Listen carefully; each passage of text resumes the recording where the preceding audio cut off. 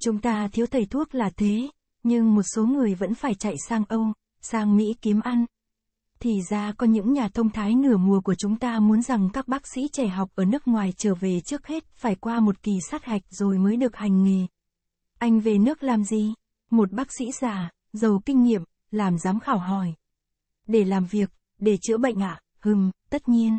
Ngoài ra anh còn biết làm gì nữa? Thế là thế nào ạ? À? Thế là thế, chứ còn thế nào nữa?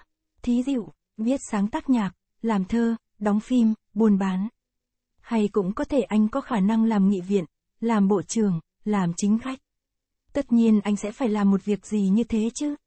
Dạ, không, cháu chỉ chữa bệnh thôi à, cháu con nhà nghèo, làm cho nhà nước lương không đủ ăn, nên cháu sẽ làm tư. Hà, hà, hà, không có ham tránh, phó giáo sư mà đòi làm tư. Thế lấy ai dẫn khách cho anh lúc đó? Tức là dẫn bệnh nhân ấy à? Phải, khách ấy mà. Chắc là bệnh nhân tự đến lấy. Làm sao bệnh nhân tự đến được? Nếu bệnh nặng thì có xe chở đến. Được rồi, vậy cái người chở bệnh nhân ấy tên là gì? Làm sao cháu biết được tên anh ta? Anh ta đã chở cho cháu bao giờ đâu? Tôi không hỏi tên riêng mà hỏi cái loại người chở khách bệnh nhân ấy gọi là gì? Gạch nối chấm hỏi chấm chấm chấm. Loại đó gọi là lái, như là lái buôn ấy. Đằng này là lái y học. Như anh chẳng hạn, anh cũng không bao giờ gửi bệnh nhân phòng khám công đến bác sĩ tư, phải không nào? Nếu không ai chỉ thì sao bệnh nhân đến chỗ anh được? Một điều như thế mà ở nước ngoài người ta cũng không dạy anh hay sao? Thôi được, bây giờ anh nói đi, thế nào là hiệu ái nghề nghiệp? Là tương trợ lẫn nhau, phải không ạ? Thế là anh không biết rồi, để tôi giảng cho mà nghe.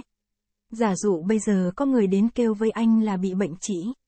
Anh khám xong rồi gửi đến cho một người chuyên về phụ khoa. Người ta bị chỉ sao lại gửi đi phụ khoa? Bạn anh ăn tiền rồi lại gửi cho một người bạn két chữa răng. Nhưng, tay nhà sĩ ấy lại gửi đi gia liễu, gia liễu lại gửi đi chiếu điện, chiếu điện lại gửi đi nhãn khoa. Cuối cùng hắn ta bị gửi đi thần kinh, đến lúc ấy thì thần kinh của hắn cũng suy sụp thật. Nếu hắn còn đủ cơm ăn nước uống thì rồi tự hắn sẽ khỏi bệnh, nhược bằng không thì hắn sẽ chết, và bệnh cũng hết. Chết rồi hắn lại còn phải rơi vào tay thầy thuốc một lần nữa, đó là tay giải phẫu lâm sàng. Thôi, bây giờ anh nói đi, anh phải làm gì để được nổi tiếng? Cháu sẽ cố gắng điều trị giỏi và sống có lương tâm. Hước, nghe đây, anh phải lăng xê lên báo một câu quảng cáo, người nghèo khám không lấy tiền. Hàng ngày khám sau bữa cơm trưa, khi khách đến hơi đông anh rút xuống chỉ khám thứ hai, thứ năm. Sau đó mỗi tuần một lần, sau đó mỗi tháng một lần. Khi khách đã kéo đàn kéo lũ mà đến thì anh thôi không khám xuông nữa. Từ đó về sau anh cứ tăng dần tiền khám.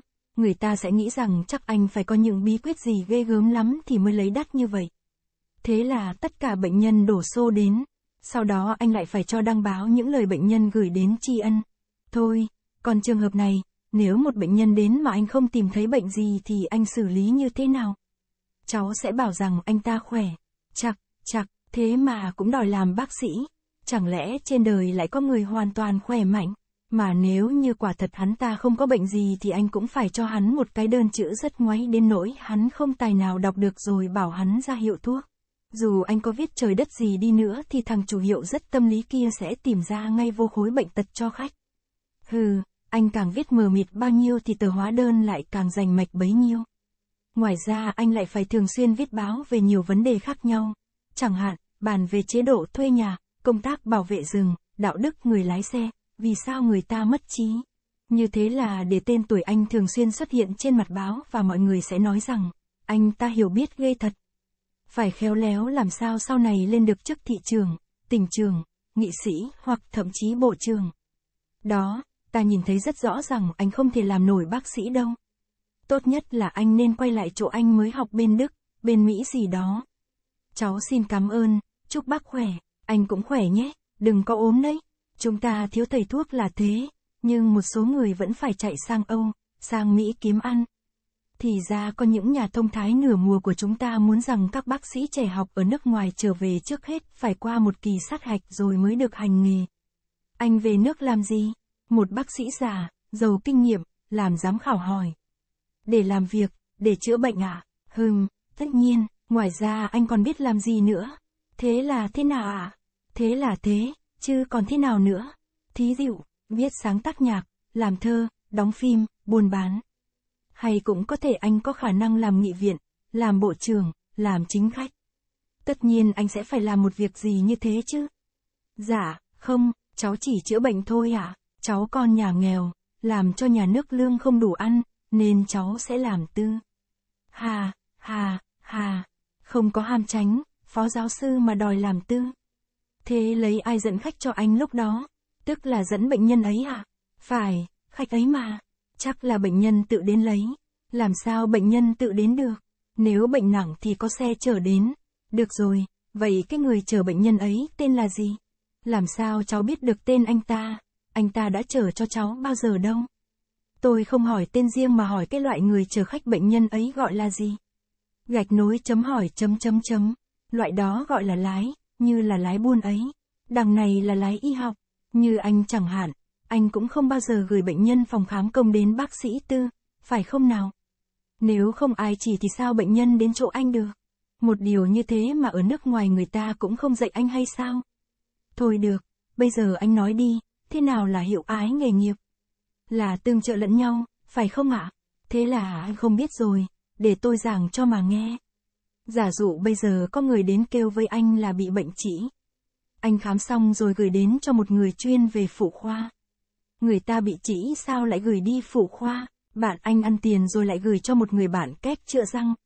Nhưng, tay nhà sĩ ấy lại gửi đi gia liễu, gia liễu lại gửi đi chiếu điện, chiếu điện lại gửi đi nhãn khoa. Cuối cùng hắn ta bị gửi đi thần kinh, đến lúc ấy thì thần kinh của hắn cũng suy sụp thật. Nếu hắn còn đủ cơm ăn nước uống thì rồi tự hắn sẽ khỏi bệnh, nhược bằng không thì hắn sẽ chết, và bệnh cũng hết. Chết rồi hắn lại còn phải rơi vào tay thầy thuốc một lần nữa, đó là tay giải phẫu lâm sàng. Thôi, bây giờ anh nói đi, anh phải làm gì để được nổi tiếng?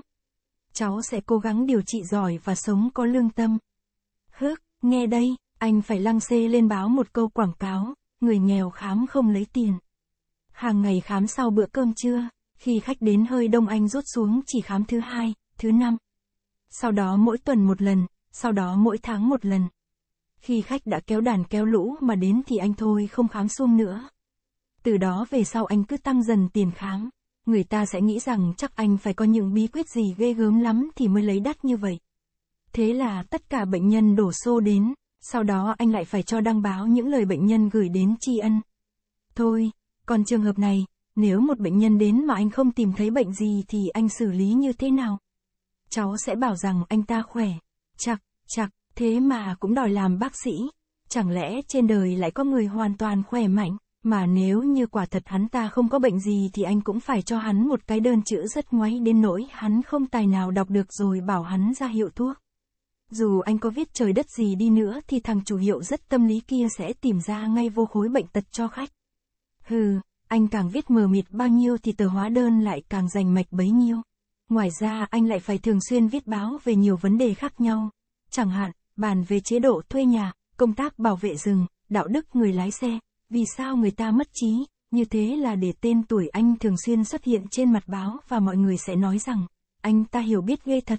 Phải khéo léo làm sao sau này lên được chức thị trường, tỉnh trường, nghị sĩ hoặc thậm chí bộ trường. Đó, ta nhìn thấy rất rõ rằng anh không thể làm nổi bác sĩ đâu. Tốt nhất là anh nên quay lại chỗ anh mới học bên Đức, bên Mỹ gì đó. Cháu xin cảm ơn, chúc bác khỏe. Anh cũng khỏe nhé, đừng có ốm đấy.